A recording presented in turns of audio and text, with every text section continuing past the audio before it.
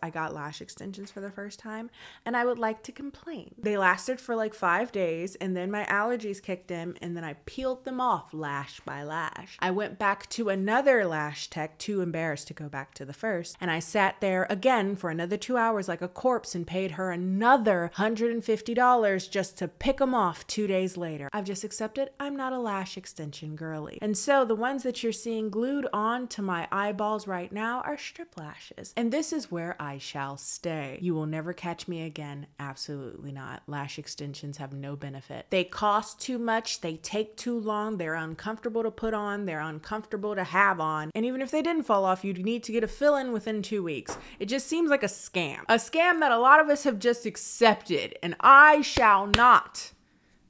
I am the revolution. Uh, hi, it's Kendall here.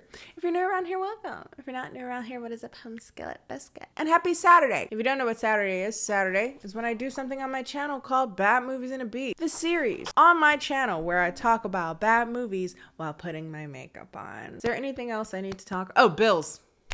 Send it over to Admiral Kenny. Sorry. Hello everyone, it's Admiral Kenny and today's video is sponsored by HelloFresh, America's number one meal kit delivery service that allows you to have fresh, delicious, and healthy meals delivered straight to the comfort of your own home. With pre-portioned ingredients, you're able to get a meal that is quick, easy, unique, new, delicious, on the table in about 30 minutes. Some of them even 20 and 10 minutes. Recently, I've been really enjoying the 10 minute things because they are great for lunch and it's a great way to not think too much and just put like a really good sandwich, like a unique sandwich, in my face hole. The holidays are around the corner. It is cooling down. You want soup, okay? you want chowders, you want chilies, you want things that are warm and comforting. And HelloFresh allows me to have a boiling pot of deliciousness that's new and unique than always making just chicken noodle soup, which I do like a good chicken noodle soup, but that's not the only option I have. I'm doing the dance. I either had to sing it or I had to or it had to go through my body at some point. I love the chicken sausage and kale soup. Fantastic. I might have made it in footage. I don't know what we're showing in footage. I make so much from HelloFresh. The corn pepper chowder. It's actually more like a corn and potato chowder. Every time I see that, that's what I want. HelloFresh is quick and easy, comes pre-portioned so you're not wasting ingredients. Who wants to go to a grocery store on a Tuesday afternoon after work? Nobody. Nobody. It's cheaper than going to the grocery store and it's also about 25% less expensive than if you went out to get food. So if you would like to check out HelloFresh, go to HelloFresh.com and use code KENNIE60 to get 60% off plus free shipping. Big thanks to HelloFresh, who's always supporting the channel over here, a recurring sponsor. We love to see it. And let's get on to the debauchery.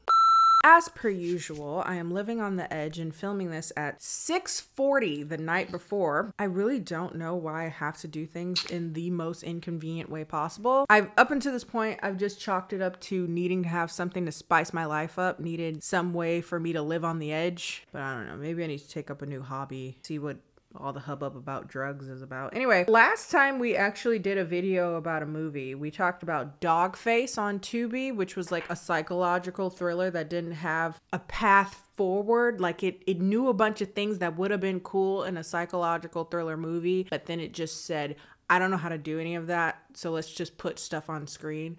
Um, it was still fun. Everything from Tubi is usually a fun time, at least. So if you want to check that out, you can check that out up above, or you can check it out in the Bad Movies in a Beat playlist. But if you missed last week's video, I talked about uh, the newest season of Love is Blind, which the new episodes have come out.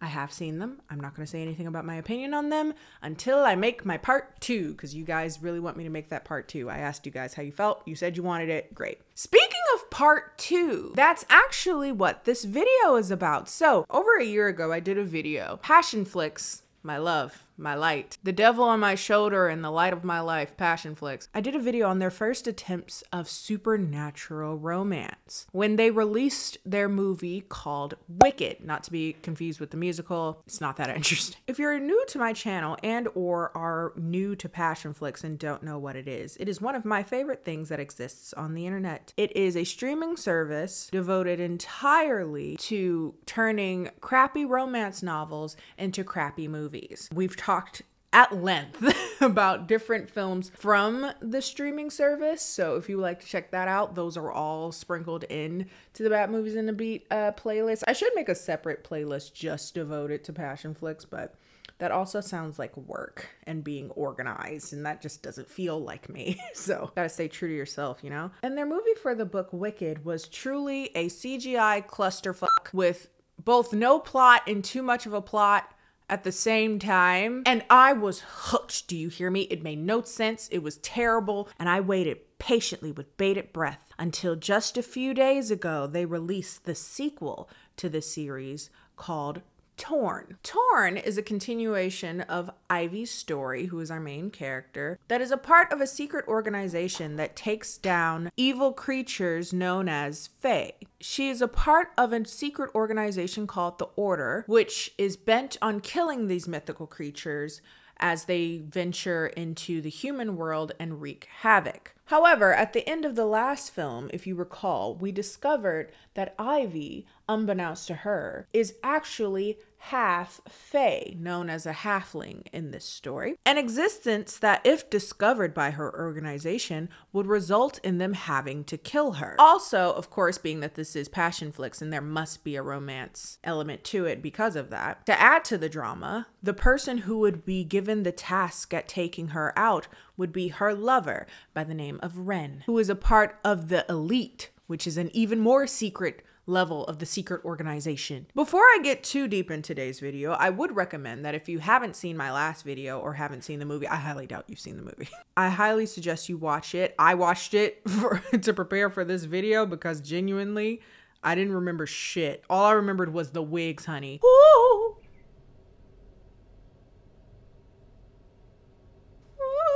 wig. Ooh, that's ooh, that wig. Oh, we, we, we,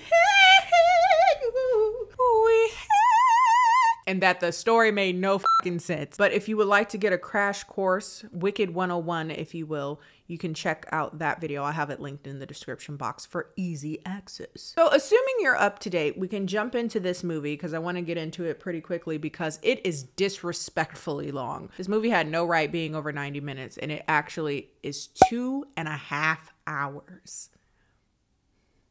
This movie has everything that you would expect from a sequel to Wicked, as well as just a movie existing on Passionflix.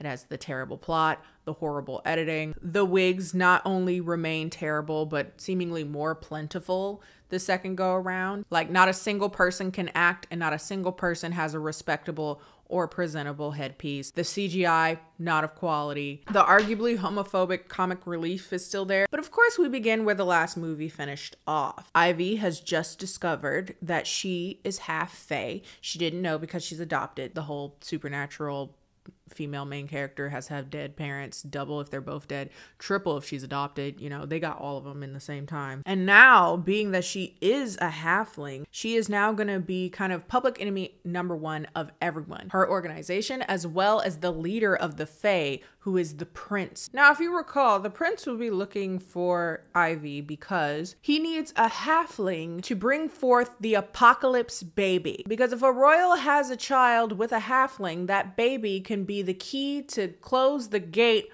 Sorry, my eyes started glazing over.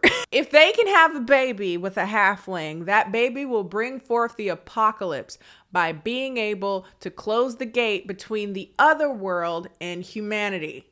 I did it. You should really watch that first video if you have no idea what I'm talking about. Once that gate is destroyed, the other world can venture into the human world, wreak havoc, and take over humankind. So there she is, left reeling with this realization that she is in many ways considered to be an abomination. And she knows that if Ren finds out who she really is, the love of her life, then he'll look at her differently. And not only that, she may be forced to give birth to the apocalypse baby. I could see how that would also put a little stress on your day. Her royal sidekick, again, the one that just feels like homophobia, Tink informs her, though, that she will not be able to bring forth the apocalypse baby if she does not consent to the conception of said apocalypse baby. This will then force the prince to do something that he's never had to do in his many, many eons of life, which is woo a woman. So it would seem that throughout this movie, what we're going to be faced with is the realization that now that the prince knows that she's a halfling, he will not rest until he has her together in his grasp. Now, around this time is when we have the first of like six mentions, maybe even more, of Amazon Prime. I also stayed because you have the magical and wonderful Amazon Prime. Amazon does same day delivery now. Amazon. From Amazon. From Amazon. From Amazon. Amazon Prime. But not from Amazon. It screams that we couldn't make this movie for free, so we had to add another 30 minutes on that's just an Amazon Prime commercial. If you wanted the greatness, you have to sit through the commercials, and that's fine, I guess. Ren comes over. They sleep next to each other and talk a bit about that black friend from the first movie that betrayed the entire order and is now working with the Fae. If you recall, her name is Val. And now apparently, it is going around the order that Val might be the halfling. Do I want to put mascara on? Do I feel like taking mascara off? I do not. Anyway, they're starting to think that Val is the halfling, and my first thought was, why? Because if she's already working with the royals, she's already knocked up with the apocalypse baby already. We we done for. But I also realize there's no point of trying to talk about how this doesn't make sense as if anything else in this movie ever made sense, so it's fine. After healing a bit from her injuries from the first movie, The Final Battle, she decides to go out, and this is where she is confronted by the prince. Whoo! What in the ultra? For $36 on Sam's Beauty, we could get a sensational. There is no excuse for this, mama. They got Musk money. This is offensive. Elon Musk. I'm sorry, I just had to put that out there since we're on the topic. If y'all didn't know, I don't know if I've said that in the spiel this video. Passionflix is actually made by Tosca Musk, who is Elon Musk's sister. So good to know all that $8 you're going to spend on Twitter now is going to great causes. I think I was on Twitter and somebody saw the trailer for this movie and said that he looks like a mixture of Criss Angel and Russell Brand. The accuracy, striking. Why he walk like he got a turd on the brink of escape? He basically says, very romantically, I need you to open the gates. So, quote, let me impregnate you and you will want for nothing. Very Nick Cannon of him. Did y'all hear he got another baby on the way? I'm not surprised. Just disappointed. I, I just want to know, as a side note, what does he say? What does he do? Like, what is he saying to be like, yup, here's another one? Like, what is the, what are you, what are you promising people? I want to know. I want to be the fly on the wall. Like, what are you telling people? that makes them say, yup, number 12. Basically, he threatens her, says that he'll end up taking his rage out on Ren if she doesn't consent to having sex with him and bringing forth the apocalypse baby. Which, if don't know if you weren't aware, it's not how consent works, okay? Thinking again that Val is the halfling, the Order end up murdering her parents. And I don't know why, but they do. I don't know. I guess they think they were compromised by the High Fae, but there's no real evidence that she's the halfling anyway. They just don't like her ass. so, and it's also crazy because Ivy knows that she's the halfling. But rest assured that the innocent black people murdered off screen does not stop the love train from choo chooing. Um, so yay, all is well with the world. Anyway, if you recall from the first movie, there was a woman that had all the answers and all the information about the Fae who also had a mental breakdown.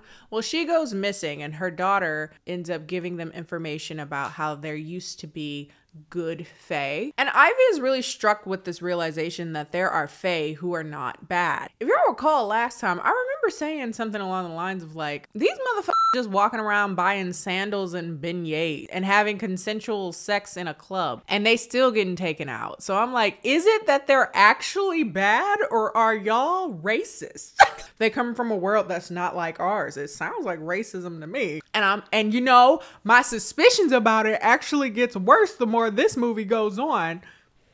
Clocked you. I clocked you. Because she is truly floored by the concept that there are this unfamiliar group of people, that not all of them are completely and utterly generally bad people. Ren is also similarly shocked by the concept of there being good Fae. But before we can contemplate this extraterrestrial xenophobia, a Fae breaks into Ivy's apartment fighting Ren, trying to take him out specifically, because if you recall, she's the halfling, they need her alive. The fight ends, however, when we discover that Tink isn't always Polly Pocket size. He can actually grow into a full grown man with a lot of power. He destroys the Fae by chopping his head off with his dick out. You're not to be. No. It's the middle of the night. And after this exchange, Ivy realizes that they were sent to take out Ren particularly the competition, because the prince knows that she's in love with him. After fully healing, Ivy returns to the Order. That is where she is greeted by new members who are in from Colorado, particularly brought in to find the halfling. They have common sense and reach the very reasonable conclusion that there's no evidence to suggest that Val is the halfling at all. Soon after this, Ivy ends up running into Val, where they have a confrontation on top of a rooftop. See, this is making me mad because this movie is a waste of money because they use green screen. It's giving very, I did not hit her. I did not hit her. I did not. Oh, hi, Mark. Ivy is like, Why did you betray us? Why did you turn yourself over into the Fae? Your parents died because of you. And she's like weirdly cool with it. She's just like, Sacrifices they gotta be made.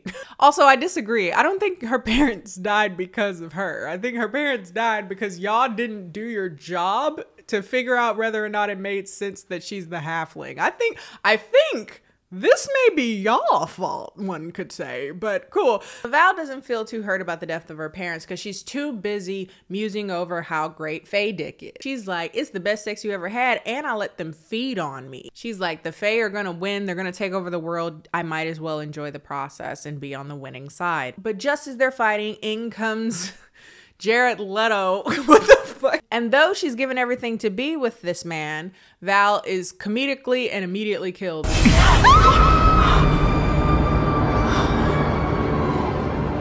It seems like things are really going haywire, and this is when Ivy decides that she has to admit to Ren that she is the halfling. He's like, No, no, this can't be. Like, no, Val's the halfling. And she's like, why does that make sense? Because it doesn't. He's like, how can this be? I'm I'm so strict about my one drop rule. How can I be? How can I be?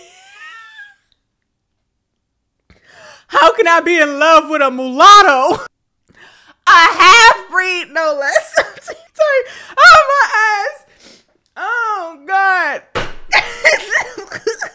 he refuses to believe her and she decides to stab her hand with the special like uh stake thing that shows if you're a halfling if your blood bubbles. She's like this is it i'm telling you the truth I am the halfling. And I have to tell you this because I want to be honest with you. I love you. He doesn't take any of that information the greatest. He's like, "Wow, that's a lot. You tell me this and then you say you love me and I just I'm I'm struggling to process this information. I I I can't even right now." They separate. She cries herself to sleep and she awakes the next morning to go back to her job at the order. She sees two Fae fighting in the parking lot. One kills the other and the remaining one impales herself on Ivy's stake. I'm telling you this scene just because I don't know if it's ever going to be important again, maybe in the next movie. But uh, rest assured, it meant nothing in this one.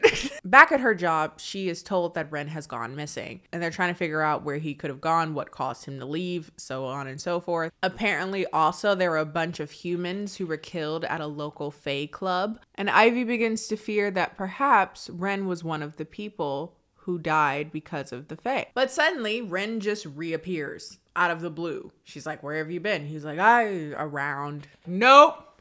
Nope. I've seen too many movies, baby. I've seen too much garbage.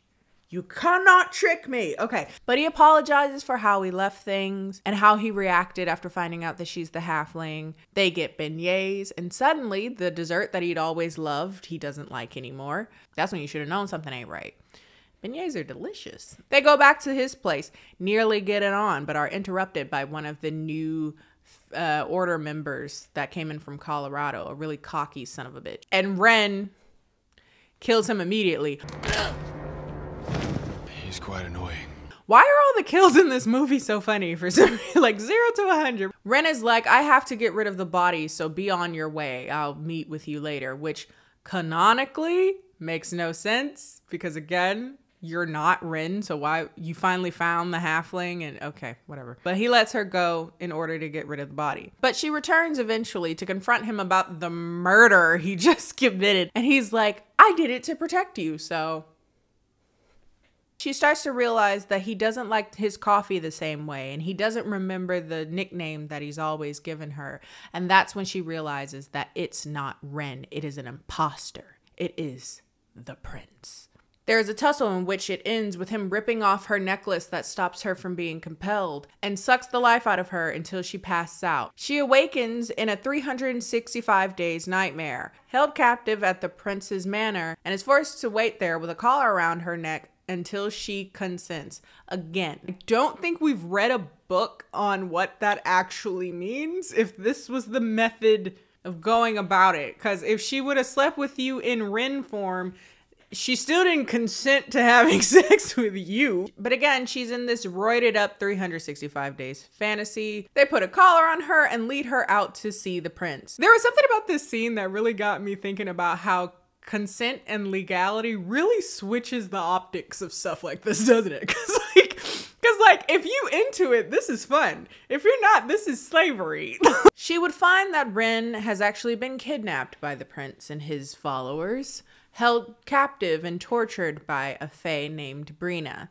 The prince decides to issue a deal in which, if she quote unquote consents to sleeping with the prince, he will let Ren go. Which, again,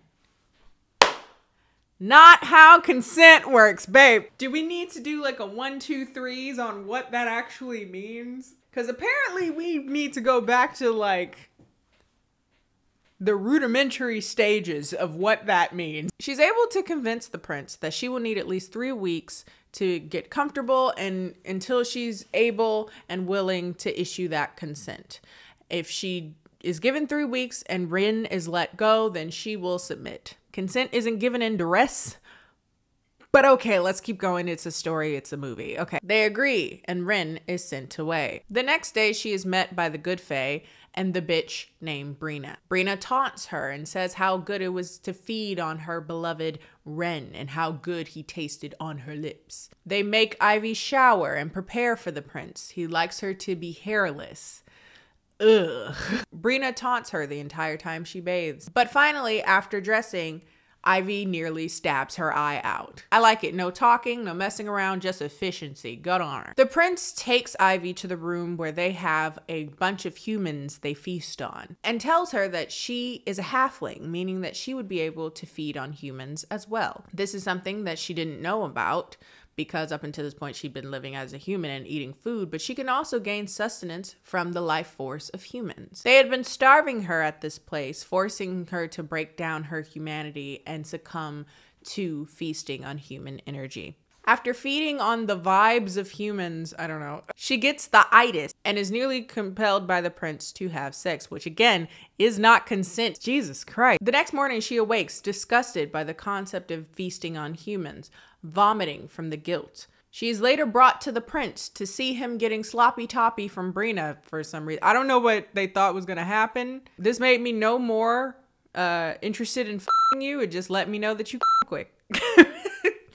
like, that's embarrassing. Why would you want an audience for that? Anyway, she is made to feed on humans continually during her time at this den of sorts of the prince. At some point, she is able to convince the prince to allow her to be out for a few moments of fresh air, at which time she asks, What is the plan that they have anyway? Like, what are they doing? He simply says that once the gate is open, they will take over this world because the other world is currently dying from an infinite chill, an endless winter, and now they will go into this world and take it over from there for the Fae of the other world. They currently are already doing beginning steps of that. There's Fae in every level of government around the world. So now they're just doing the final steps to again bring forth the apocalypse baby and take over the world. But at night, she is visited by the nice Fae and is given the opportunity to run away while the prince is away from the estate of sorts. They make their escape and are nearly killed by Fae but they're able to survive when Ren gets there at the last minute, along with Tink, full size Tink at this point. They are accompanied by a bunch of like. The first thing that came to mind was like underground railroad fae that are gonna lead her to freedom. um, and being that she was like a slave in the thing, it's not. Mm. Cause at first I was like, is that a reach to make that correlation? But I don't there might be some racial undertones. Or am I projecting? I don't know. This movie's a mess, is what it is. Um, some good Fae lead her to freedom and hide her away from the evil Fae and the prince. Ren is there, accepting Ivy for who she is, and is ready to kill the prince for ever putting her in harm's way. They reconcile. He says how much he loves her, and that it doesn't matter that she's a halfling. And in the final eight minutes of this movie, I decided to skip a lot of it because it felt like it should have been over. Again, this is at the like two hour, 30 minute mark at this point. I'm like, why is there still eight more minutes of movie? But basically, in this moment, we find out the plan to close the gate for good. In order to close the gate, they'll need the blood of a halfling of the royal as well as a special crystal that was in the first movie. I don't remember if I ever mentioned it. A crystal. And they must do a fight on the other side of the gate in the other world. Dun dun dun. And I guess we're not supposed to ask logistically how they're supposed to get back on the other side when they do that, but it's a movie. So, anyway, that's the end of it.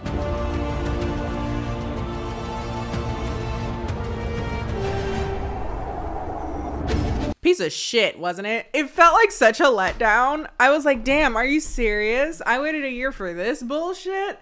That's not even a movie. And again, this video isn't the longest video I've ever made at all. I'm just looking at the time of me speaking. This movie, for some reason, is somewhere between 40 minutes to an hour longer than movies that I usually talk about for this channel. This movie was stupid and a waste of time and a waste of wig money. But alas, I'm still interested to see what happens in the next one. I'll be there. If you like this video, feel free to like this video. Follow me on all my social media, Instagram and Twitter, both of which are KennieJD. If you have other bad movies that you'd like me to check out, feel free to put them down below, and I will see you guys next time.